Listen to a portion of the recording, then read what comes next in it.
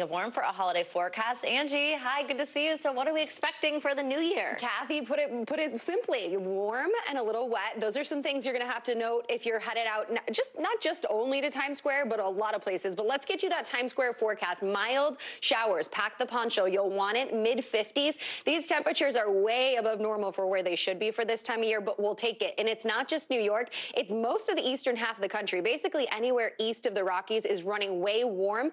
Places like Kansas City will heat, it will hit 57 degrees to go into the new year, 62 on Saturday in Nashville, and ending up at 66 for Sunday. So you get the picture. It's warm for New Year's Eve and New Year's Day, but unfortunately, we're also going to see some wet weather on the East Coast. We'll have a couple rounds of some of these showers working in. That's Saturday at 8 p.m. Likely by the time the ball drops, we could maybe see some drier skies, but leading up to that, for all those folks that are out and about uh, waiting, they're going to likely run into some of that rainy weather. And that luckily gets out of the picture by the time Sunday rolls around. So it'll be quite nice unless you're in parts of northern Maine and even by Sunday afternoon it'll be nice there too.